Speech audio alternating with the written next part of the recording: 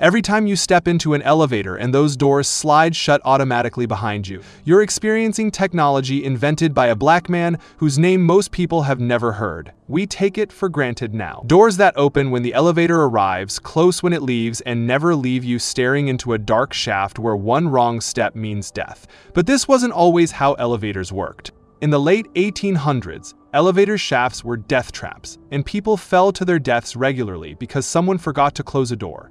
The man who solved this problem was Alexander Miles, a black inventor and businessman who turned a moment of terror into a safety breakthrough that's still protecting lives today. Alexander Miles was born on May 18, 1838 in Pickaway County, Ohio. Not much is known about his early years, which is typical for black historical figures whose stories were deemed unworthy of careful record-keeping. But we do know that by the 1860s, he'd settled in Waukesha, Wisconsin, working as a barber. This wasn't just any barbershop job. Alexander was skilled, ambitious, and had a mind that never stopped working on how to make things better. In 1870, while living in Winona, Minnesota, he met Candace Dunlap, a woman from New York City. They married, and in 1876, their daughter Grace was born. Shortly after, the family moved to Duluth, Minnesota, a city on the shores of Lake Superior that was growing fast with industry and commerce. In Duluth, Alexander's barbershop became legendary. A local newspaper called it the best shop in the state of Minnesota.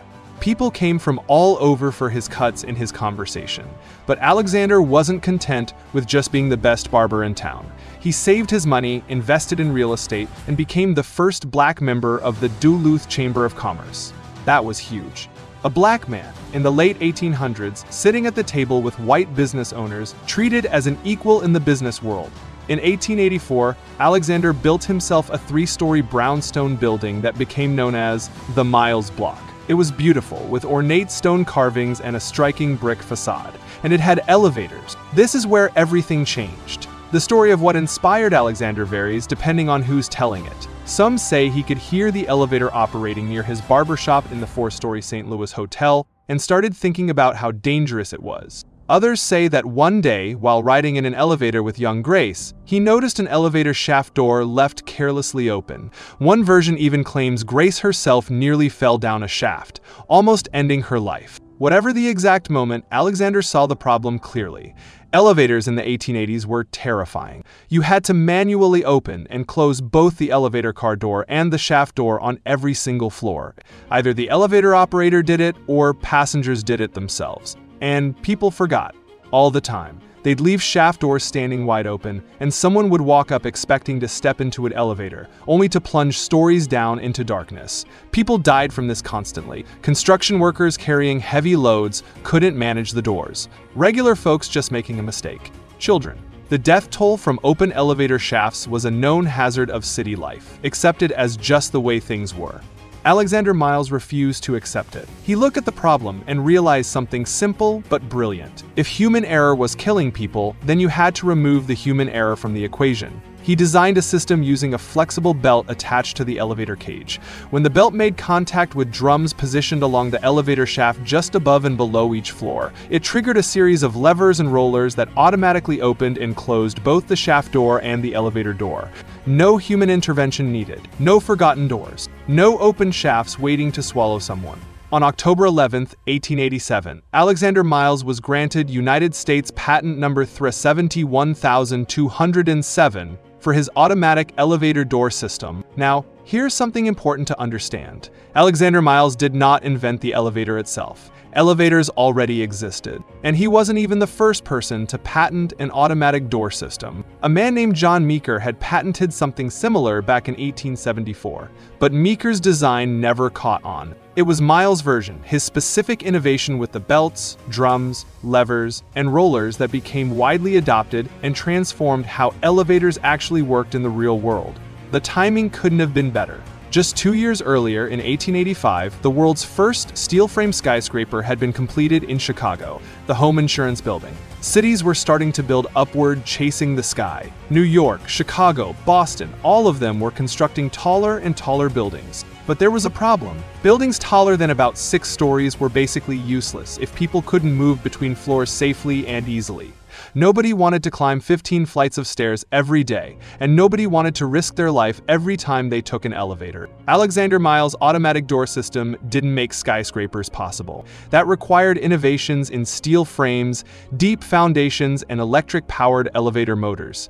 But what Miles did was make elevators dramatically safer and more practical. His invention helped transform elevators from dangerous novelties that required trained operators into reliable, everyday conveniences that anyone could use. That safety and reliability made tall buildings more attractive to build and more comfortable to work in. Think about it.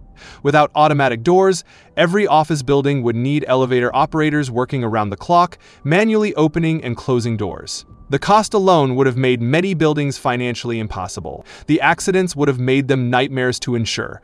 Miles' invention removed both problems. By the early 1900s, automatic elevator door systems had become standard in construction. Skyscrapers soared higher and higher, and elevators became symbols of modernity and progress. Office towers housed the machinery of finance and government. Apartment buildings redefined how people lived. Department stores with multiple floors transformed shopping.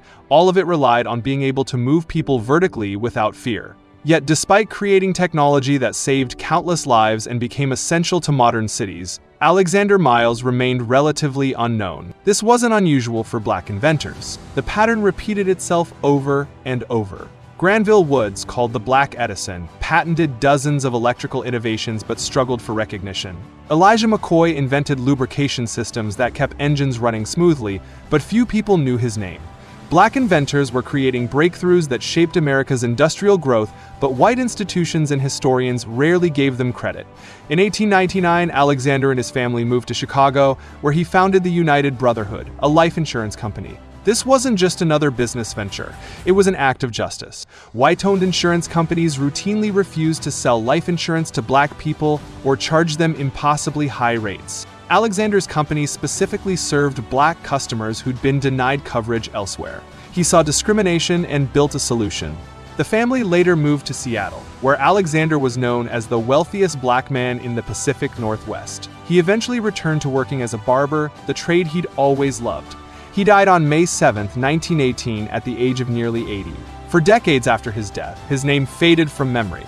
History books didn't mention him. Architecture classes didn't teach about him. The elevators that used his technology carried millions of people safely every single day, but nobody knew who'd made them safe. It wasn't until 2007, almost 90 years after his death, that Alexander Miles was inducted into the National Inventors Hall of Fame. Finally, official recognition. Finally, his name placed alongside other great inventors. But even now, most people have never heard of him. This erasure wasn't an accident. The history of technology has always reflected who had power in society. When black people, especially in the 19th and early 20th centuries, contributed to major innovations, their work was often written out of the story, minimized, or attributed to white contemporaries. Their labor was acknowledged only when absolutely necessary, and their genius was systematically downplayed. What makes Alexander Miles' story so important isn't just what he invented, it's what his invention represented. He saw people dying from a problem that everyone else accepted as normal, and he refused to accept it. He used his skills, his mind, and his determination to create something that made the world genuinely safer. His invention wasn't about making money or gaining fame. It was about saving lives. Every modern elevator still uses the basic principle Alexander Miles patented in 1887. Automatic doors that open and close at the right time, protecting passengers from the shaft. When you ride to the 100th floor of a skyscraper in New York or Dubai or Shanghai, when you press a button and doors slide smoothly shut behind you, when you arrive at your floor and step out without ever thinking about danger, you're experiencing the legacy of a black barber from Duluth who saw a problem and fixed it. The gleaming skylines of modern cities, the towering buildings that define urban life today, they don't just stand on steel and concrete.